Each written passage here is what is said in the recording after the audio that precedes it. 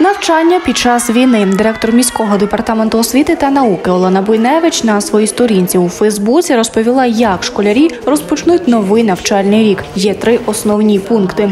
Перше, якщо дитина не повертається до України 1 вересня, то вона ходить до школи за кордоном. Водночас освітяни не рекомендують паралельно вчитися в одеській школі, адже це сильно завантажуватиме дитину. Олена Буйневич запевняє, місця у школах будуть, тому хвилюватися не варто. Після повернення дитині потрібно буде здати різницю між програмами.